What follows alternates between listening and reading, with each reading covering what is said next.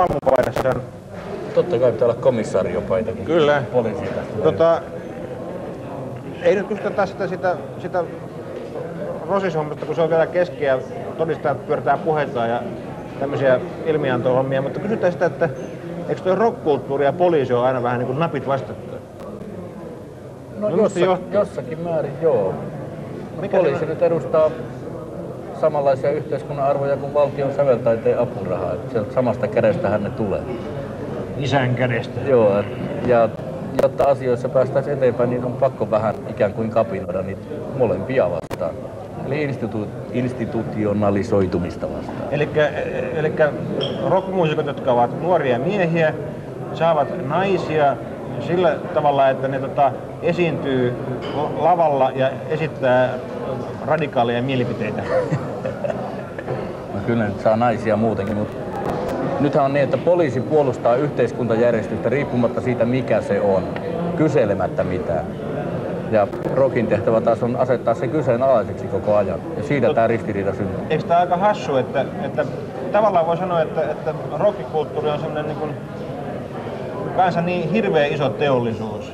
Että et, Onhan kapina, se hirveä. kapinoiminen on itse asiassa aika koomista verran. Ei, mutta siinä vaiheessa, kun se vielä on kapina, enhän mä nyt, siis mä nyt kapinoin enää pelkästään henkilökohtaisesti, ei mua kukaan sillä ota tosissaan. Nämäkin dikkaa mua kaikki. Niin tota, sikäli niinku se, siinä vaiheessa, kun se on vielä oikeasti kapina, niin se ei ole vielä teollisuutta. Jos se on hyvä ja jos se on, sillä on kaupallista merkitystä, niin siitä tulee teollisuutta. Mutta se ydin on aina kapinallista. Eikö tämä, eikö tämä rockmuusikon äh, imago nyt kuitenkin ole sillä tavalla, että tämä musiikin kautta pyrkii etupäässä vetoamaan tällaisiin nuorempiin kansalaisiin. Tosi sitä on tietysti ikääntyneemmäksikin porukassa sen ihailijoita, mutta, mutta kysymys on siitä, että äh, tavallaan esiintymällä yhteiskuntaa vastaan, niin herätetään hyvin herkästi tämä kapinoiva ajatus nuorisossa. Ja ja sen takia tämä kapinallinen näkemys ja, ja tällaiseen voimassa pitävää valtaa, niin kuin siis poliisin suuntaan, niin täytyy esiintyä silloin arvostelevasti, niin silloin se vetoaa tähän nuorisoon, joka on tietyllä tavalla aina kapinahenkistä kuitenkin, ja mikä on oikein. Kyllä joo, mutta ei ei sitä kapinahenkisyyttä herätetä, se on siellä. Mutta se- Niille aika ainoastaan kerrotaan, että se on siellä. Mun, mun ymmärtääkseni kuitenkin se, että rocknuorisossa suurin osa on kuitenkin sellaista, joka tavallaan hyväksyy poliisin läsnäolon siellä. Eihän siitä tulisi mitään suuria massatapahtumia, jos siellä ei olisi poliisia kuitenkin. Joo, ei kyllä, kyllä tämmöiset niinku hyväksytään, mutta kysymys on niinku tämmöistä periaatteellisista jutuista. on erikoista tämä Oulun tapaus, joka oli ihan semmoinen melkein spontaani juttu tuolla Pohjois-Suomessa. Ne pani näyteikkunan. Niin, kuitenkin kaiketenkin minusta siinä poliisi menetti viisaasti, että ei pahemmalta vältyttiin. Siinä oli, piti olla malttia. Näin, näin tämmöisenä kravattipäisenä jo kiinnostaa tavallaan se, että, että se se kapinan itseisarvo, rebel without a cause, niin, niin musta siinä on jotain falskia kuitenkin. Mä en tiedä. Oletko säkin ollut semmonen? Se kuuluu siihen ikään. Miksi, miksi se kuuluu siihen? No se nyt kuuluu. Siis vanhemmat on mänttejä, ne on kusipäitä niin kuin Mut ne todellisuudessa on. Eikä ole. Ne siinä vaiheessa on semmosia.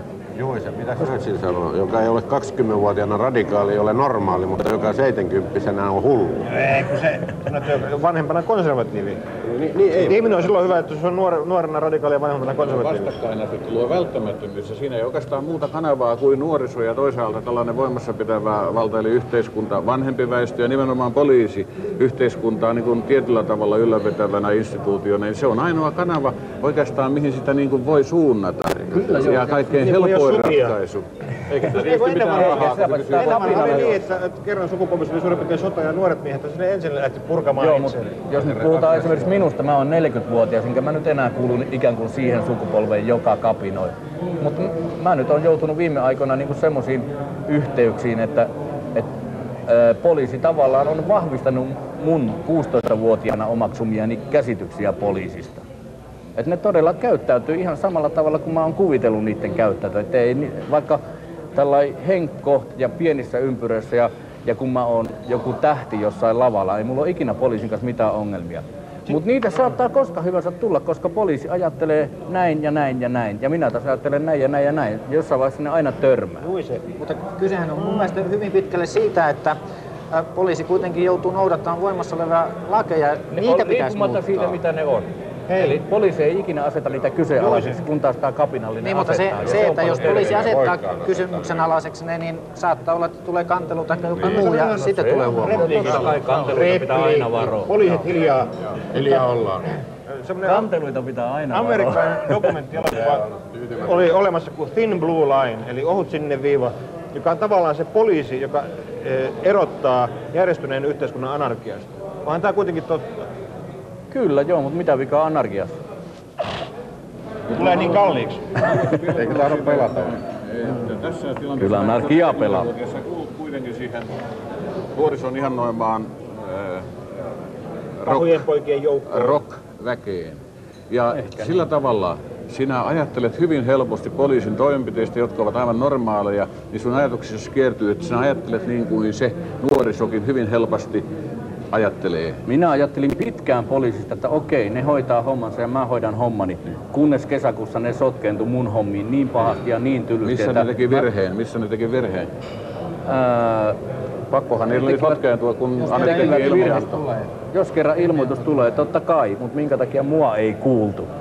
Minä sentään tiedän parhaiten, missä minä liikun milloin. Eikö sua kuulusteltu lainkaan sitten? Kyllä, mua kuulusteltiin, mutta ei ole mitään otettu tosissaan. Ennen kuin nyt ihan vastikään. Kirjasko ne paperille sen, mitä sinä kerroit? Kyllä joo. No silloinhan se ei heidän mielipiteensä merkitse mitään, vaan se, mitä sinä olet kertonut siitä. Minut heitettiin häkkiin ihan ekaksi, sen jälkeen ruvettiin kyselemään.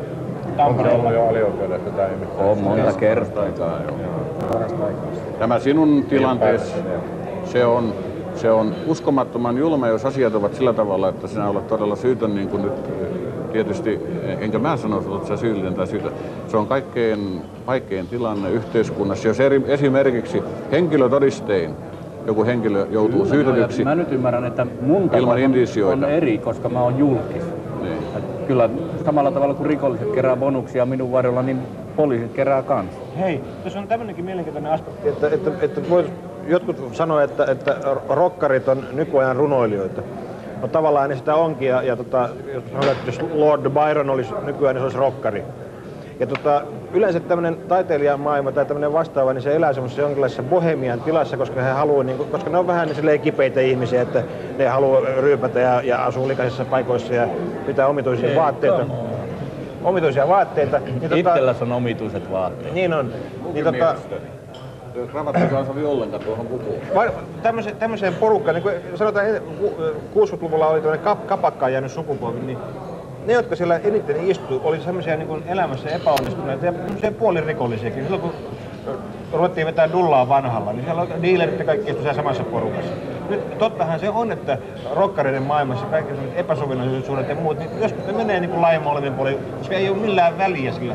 No sekin on totta, kyllä. Ja silloinhan tämä konfrontaatio on sitä, että jos poliisi tai portsari tai joku muu vahti tulee pilaamaan heidän elämänsä, ettei saa vapaasti viettää hauskaa elämää, joka ei ole niin kuin tämän yhteiskunnan laista niin tiukasti kiinni.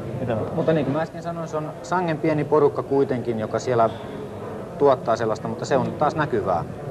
Ja se pilaa totta, sitten monta kaikki kertaa poliisitkaan myös ole nuijia, mutta se instituutio saa, tekee kenestä hyvänsä. Eikö poliisi on välttämätön?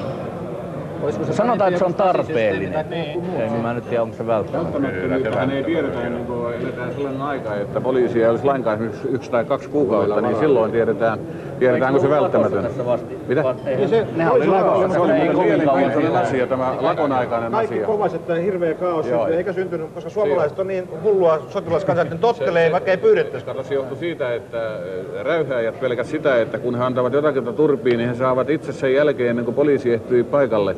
Siis, siis aikaisemmin, aikaisemmin, siis se toimii ilman poliisia. Aikaan, aikaisemmin ne lähti siitä, että kun he itse antavat turpiin ja lähtevät juokseen pakoon, niin poliisi ehtii paikalle jo siinä vaiheessa, kun he ovat itse vuorossa saada. Tässä onkin se Ja ero, nämä eivät uskaltaneet sitten Jenkeissä- rähinöidä. Jenkeissä oli poliisilakko tai mikä tahansa katkos New Yorkissa, sähkökatko, niin kaikki ryöstettiin. Kaikki meni, siellä ei ole semmoista sen tyyppistä kasakan kunnioittamista kuin täällä. Niin, että su- suomalaiset on semmoinen niin poliisisielunen kansa. Vastuuntuntoiset rikolliset Suomessa ei lähdetä rähinöimään, jos poliisi ei ole mahdollisuudessa toimimaan. Tuo onkin hyvä määritelmä. Kun rupeaa tekemään kapinaa, niin pitää olla joku, jo- jota vastaan sen tekee. Ja se, että kuitenkin jon- jonkinlainen valvonta täytyy olla. Se on sitten joku yksityiset vartiointiliikkeet ja muut, joilla ei ole periaatteessa sitten taas Eihän ole niin paikoilla. Suomalaiset onkin aika paljon vastuuntuntoisia rikollisia. Sen takia, että Suti tietää sen, että rehellisnaamasta kansaa, joka tekee hirveitä konnuksia, minkä ehteen, kun se on noppatutkimuksessa sinä huomasit, että, että mitä siistimpi herra, niin sitä, sitä pahemmin se on sotkenut itse jo. Mä epäilin, joo. No ei se ole aika... Tässä meitä siistejä herroja on sitten, joka sopii epäillä. Mutta esimerkiksi tuosta vielä, tänä päivänä Suomessa on sellaisia pitäjiä, jos ei lainkaan poliisipalveluja, jotka ovat jääneet niin kuin systeemin ulkopuolelle. En nyt lähde mainitsemaan nimiä. Niissä pärjätään kyllä ilman poliisiakin, mutta niissä eletään myöskin villilännen tyyliin. Siellä voi ajaa rattijuoppuna kuinka haluaa, ei min, koskella minkäänlaista kiin, kiinni joutumisen riskiä. No mene tuonne Kurun kuntaan, siinä on yksi. En minä tarkoitan nyt, että voisin nähdä siellä rattijuoppia. Mä esitän nyt esimerkin asiasta. Kurun kunta on vailla poliisipalveluja ja ihmiset ovat siellä hyvin katkeria siitä, että heillä ei ole poliisipalveluja, mutta he kyllä pärjäävät, koska se tietyllä tavalla muotoutuu se heidän yhteisönsä toimimaan ilman poliisipalveluja. Mä voisin kertoa, mä oon kuullut juttuja, että Suomessa on semmoisiakin kuntia, jossa on poliisipalveluja ja rattijuoppoja vaikka kuin paljon. Totta kai. Poliisit mukaan luettuna. Mutta se, että jos ajatellaan jotakin kotiva, kotona väkivaltatilanteita tai muuta, jos jumalattoman kauan pitää odottaa poliisia, niin kyllä se heikompi osapuoli aika vaikeassa tilanteessa on, jos äh, ei tule apua. Talossa on hautajaiset menossa, kun poliisi pääsee paikalle, niin ei sekään mitään oikein ole. No on- onko tota, kun neukut romahtaa, niin siellä rikollisuus kanssa ryöhähti ylöspäin. Niin Suomessakin rikollisuus on lisääntynyt hirveästi. Miksi? Se johtuu siitä, että meillä on tullut esitutkintalaki ja meillä ei ole resursseja lisätty, jolloin poliisi ei pysty tutkimaan muuta kuin tietyt, tietyt, tiettyä astetta ylemmäksi arvioidut rikokset, jolloin Määrättyjä rikoksia ei tutkita oikeastaan niin, se on yhteydet. Vankilat ovat tyhjinä, totta kai eivät ne uskoon ole tulleet. Me menemme Eurooppaan, täällä ei ole rikollista ollenkaan, poliisia ei tarvita ja rockmusiikkikin on eri tasosta, että kiitos Juusi nyt tästä pienestä ja kiitos Skoudet. Hei! Nyt Esko Almgren, milloin sä oot ollut viimeistä tekemässä poliisin kanssa? No jos nämä eduskunnassa olevat edustajapoliisit otetaan huomioon, niin lähes päivittäin jonkun Aittoniemen tai jonkun muun kanssa. Sunhan kristittynä pitäisi olla poliisin ystävä, eikö niin? Mutta hyvin ystävällisesti ne ovat minua kohdelleet. ei, eikö täällä ole mitään semmoista äh, omaa putkaa, minne juopuneet kansanedustajat rahdataan? Kun minulla ei ole tästä mitään konkreettista kokemusta, niin en todellakaan ole myöskään tullut kysyneeksi keneltäkään. Sä et ole viime aikoina nauttinut alkoholia. Enkä minään aikana. Selvä. No siellä alkaa täysistunto, että eikö sä mene sinne? Joo, heti kun olen saanut tämän kahvin juoduksi. Hän juonut kahvia.